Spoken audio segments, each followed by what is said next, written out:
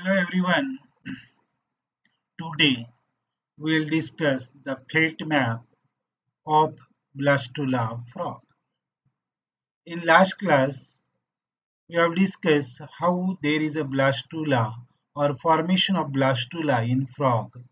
During blastulation there are the larger cells towards the vegetal pole that we called it as a megameres and the smaller cells that are towards the animal pole that we called it as a micromeres.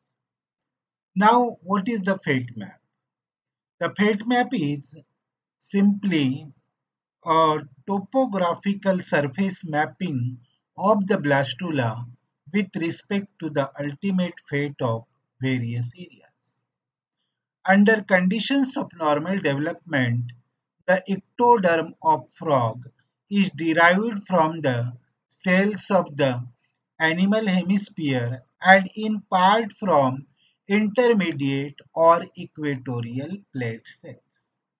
And these are the regions on the fate map designated as a presumptive ectoderm.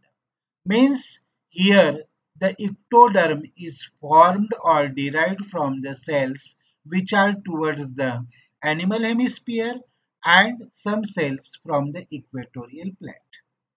Then next layer that is the endoderm and the endoderm comes partly from the intermediate zone but largely from the vegetal hemisphere area and the presumptive endoderm on the fate map that specially its maximum area from the vegetal hemisphere area and some from the intermediate zone. The remaining the third layer that is the mesodermal layer. The mesoderm and the notochord have a dual origin arising in between the ectoderm and endoderm largely from the region as the lips of the blastopore.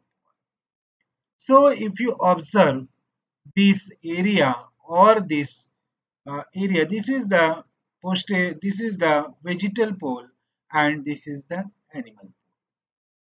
This the area which is towards the vegetal pole that is going to form the endoderm and which is towards the animal pole that is going to form the ectoderm.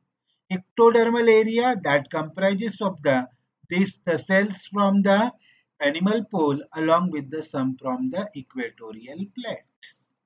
Then the endoderm it having the maximum cells from the this vegetal pole and some from the this intermediate zone. So this is the uh, ectodermal area and that give rise to here the what the this area it give rise to the lenses then the ear then the head region. This is the noto this central area that is going to form the notochord this area which is toward this is the blastopore this is the anterior limb bud and these are the mesodermal area and this is the endodermal so in this uh, fate map or this is a fate map of the Xenopus blastula or the frog blastula. This is a blastopore and uh, this is the uh, region towards the what? The uh, vegetal pole and it having the endodermal area. This is the subblastoporal endoderm means the area which is below the blastopore.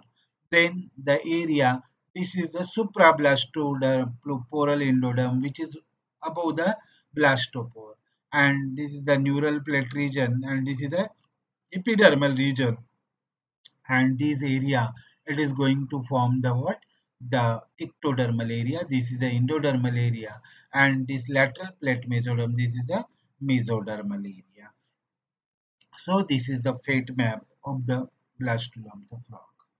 If you observe that this is the presumptive epidermis this is the presumptive neural system this is the presumptive notochord then this is the blastoporal lip then this is a presumptive endodermal region this is a hypo uh, below the what the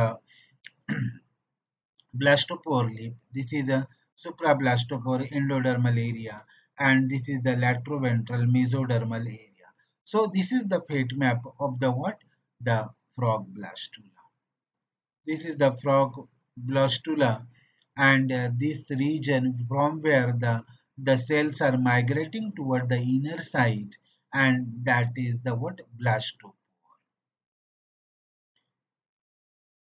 So this is the fate map of the Xenopus blastula or the frog blastula where the this mesoderm, endoderm and the what the ectoderm are formed and they, their fate is decided.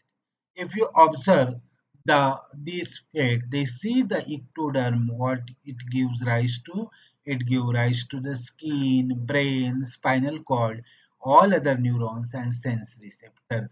The area which is towards the what the animal hemisphere, with this is going to form this, and the, the mesodermal area, it is going to form the notochord, muscles, blood, bone, and the sex organ. While the endodermal area it forms the inner lining of gut, liver, pancreas, inner lining of the lungs, then inner lining of the bladder, thyroid, parathyroid, and the thymus.